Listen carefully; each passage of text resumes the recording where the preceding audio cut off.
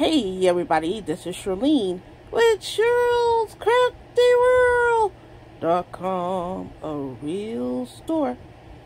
Today I'm coming to you with the collab of hashtag Smash Our Stash 2021.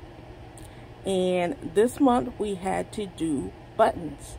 I've had a rough month, um, had a few sick days, so I don't have a whole bunch of button um, exhibits for you, but I do have some. I am making some unique pokey tools. And on the back of the pieces, I have buttons.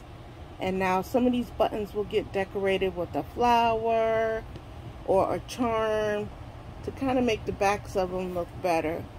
Um, I don't have the beads on them yet, but I have the beads lined up to put on them. And I will be doing another video um, when they're complete. Um, because these will be up for sale on tomorrow at my um, at a fall festival that I'm in. So this is what I have.